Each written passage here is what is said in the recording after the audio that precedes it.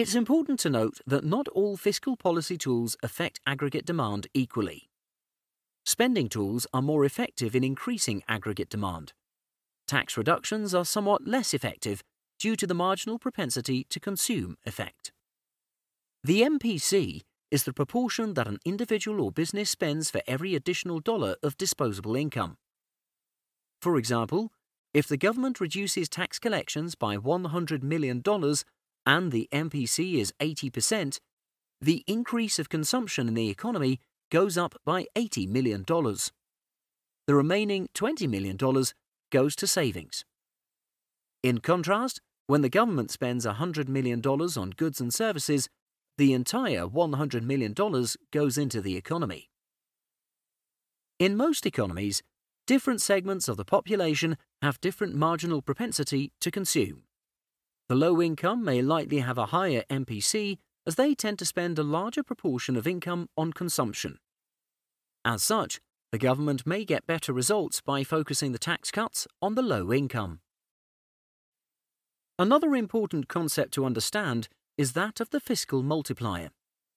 When the government spends 100 million, the net effect on aggregate demand is multiplied by this factor. To understand this, let's follow where the money goes. When the government spends $100 million in the economy, this amount goes to companies and individuals who provided the goods and services. If the tax rate is 25%, the net increase in disposable income to them is $75 million. With an MPC of 80%, these recipients will spend $60 million on other goods and services in the economy.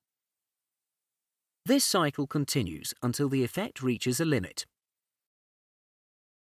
So as you can see, the total amount of spending in the economy extends beyond just the $100 million that the government put in. The fiscal multiplier can be calculated using this formula.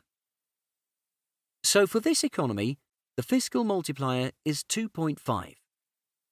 This means that the additional $100 million the government spent can potentially result in a $250 million increase in aggregate demand.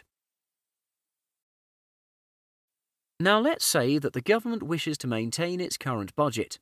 So the $100 million increased spending has to be balanced by a corresponding $100 million increase in revenue from taxes.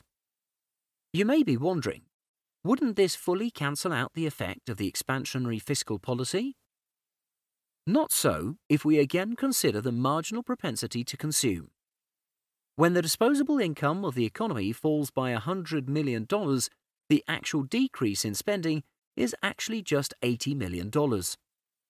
If we multiply this by the fiscal multiplier, the decrease in aggregate demand is $200 million. So we learn that even though the fiscal budget remains unchanged, the net change in aggregate demand is positive $50 million. We can say that the balanced budget multiplier is positive in this case. You're watching an excerpt from our comprehensive animation library. For more videos like these, head on down to prepnuggets.com. At Prep Nuggets, let us do the hard work for you.